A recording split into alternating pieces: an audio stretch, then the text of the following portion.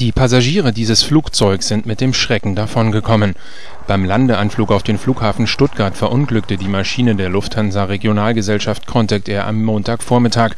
Verletzt wurde der Flughafengesellschaft zufolge jedoch niemand. Die Maschine vom Typ Fokker 100 hatte offenbar Fahrwerksprobleme an Bord des Fluges von Berlin-Tegel war auch SPD-Chef Franz Müntefering.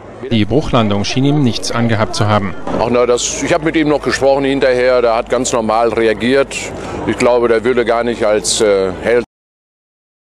Man hat dann sehr schätzen gelernt in dem Augenblick die gute Ausbildung der Piloten. Der hat genau gewusst, dass er umgeht und äh, die Bahn ist auch entsprechend präpariert worden, sodass äh, ja, die Landung einfach unglaublich sanft war. Müntefering war auf dem Weg zu einem Wahlkampfauftritt in Stuttgart-Feuerbach, wo er am Mittag eine Rede halten sollte.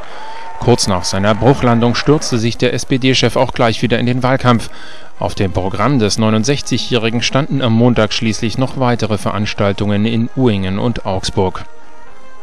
Auch alle anderen Insassen seien inzwischen unverletzt aus dem Flugzeug gebracht worden, teilte der Flughafen mit.